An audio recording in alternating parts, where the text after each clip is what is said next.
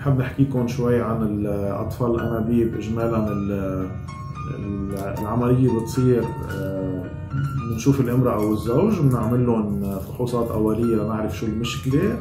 إذا المشكلة بتستدعي أطفال انابيب بنعمل بنحضر الإمرأة لحتى نعمل لها أطفال انابيب التحضير بياخذ تقريبا أسبوعين بيكون في آه، ابر يوميه تحت الجلد بتاخذهم الامرأة آه، بذات الوقت لمدة تقريبا شي 10 أيام، هال 10 أيام أنا بكون عم شوفها آه، كل يومين ثلاثة بنعمل لها فحوصات دم وتصوير وبنتابع نضوج البويضات. بس تصير البويضات ناضجة وعددها منيح. بيكون في عملية سحب البويضات مع بنج مع بنج عام تقريبا شي 10 دقائق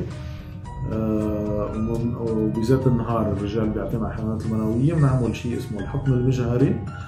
بيطلع لنا اجنه ثاني يوم بنتابع الاجنه لمدة يومين ثلاثة أو لخمسة أيام ونرجع بنرجعهم بنزرعهم بالرحم تبع الامرأة. عملية الترجيع بتكون دقيقة بس ما بدها بنج.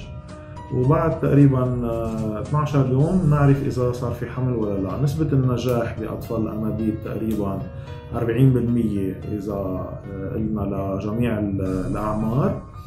آه، وميزة أطفال الأنابيب هي إنه فينا كمان نستعملها عند الناس العاديين يلي ما عندهم مشكلة بأطفال بالإنجاب بس عندهم أمراض وراثية. في مثل ال sickle cell disease مثل التلاسيميا مثل كثير أمراض موجودة بالبحرين.